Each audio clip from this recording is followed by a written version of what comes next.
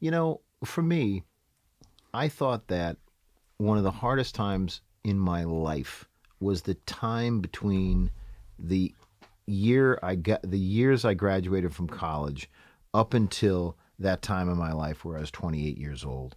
So that period of time uh, from 21 to 28, uh, I think is is a time that's not spoken about enough in terms of what what it feels like uh, as as you're trying to you Trying know, to find your way. trying to find your way, get out of college, understand like what can I do. You also, you know, for me, I wanted to get married. I wanted to have a family.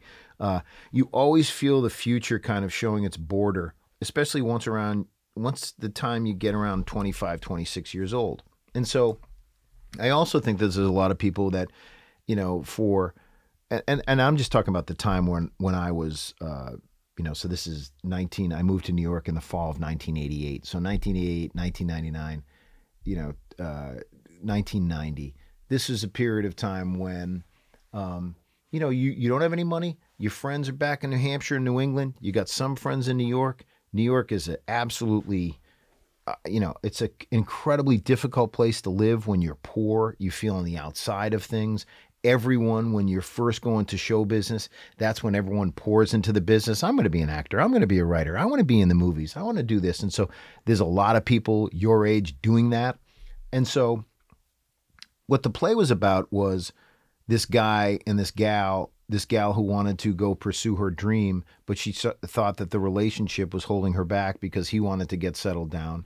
And what what that what that time period is like where if you in that in that age of 21 to 28 and I know that 21's a lot you know not a lot of people get married that young anymore but um and I wasn't ready to get married at that age. It's like what happens when you've met somebody that's really right for you but your interests and your pursuits are going in a different direction and you can't put the time that a relationship requires because it does require time and attention and and the timing is really off right? Because you have to be um, you know just working your tail off and other people do too and you're constantly meeting other people and they're meeting other people and so the resiliency to make a relationship really work I think that that's a difficult time for people. It's in part what the play was about three different relationships, um, about that, where they were, and and trying to manage that.